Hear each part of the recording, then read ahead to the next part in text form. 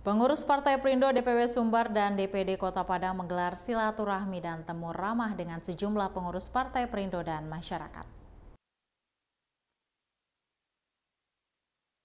Acara silaturahmi yang diadakan oleh Partai Perindo merupakan salah satu bentuk kepedulian partai terhadap kepengurusannya yang selama ini telah bekerja dan berupaya untuk memajukan Partai Perindo dalam menghadapi dan mempersiapkan dalam verifikasi KPU beberapa bulan yang lalu.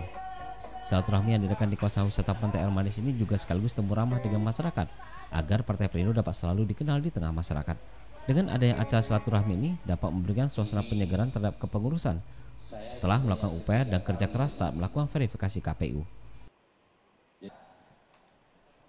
Ya, hari ini kita sengaja mengadakan acara silaturahmi karena e, untuk mensikapi rencana tahapan verifikasi faktual. Jadi kita refresh sebentar, kumpul-kumpul bersama biar uh, kekompakan kita semakin uh, ada di Perindo ini.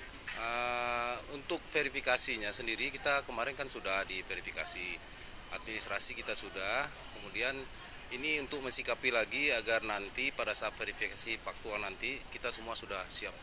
Iya, kita terima kasih juga kepada Ketua DPD Partai Perindo Kota Padang yang pada hari ini melakukan silaturahmi kepada khususnya kepada seluruh pengurus eh, DPD, DPC dan DPRT sekota Padang dengan masyarakat eh, Pantai Air Manis untuk melakukan eh, hubungan silaturahmi lebih dekat lagi yang mana eh, di dalam mm, tahapan-tahapan verifikasi yang dilakukan KPU pada saat ini Alhamdulillah DPD se Sumatera Barat awalnya uh, ada 6 DPD yang belum memenuhi syarat yaitu TMS dan dalam waktu beberapa hari ini uh, semuanya sudah lakukan perbaikan.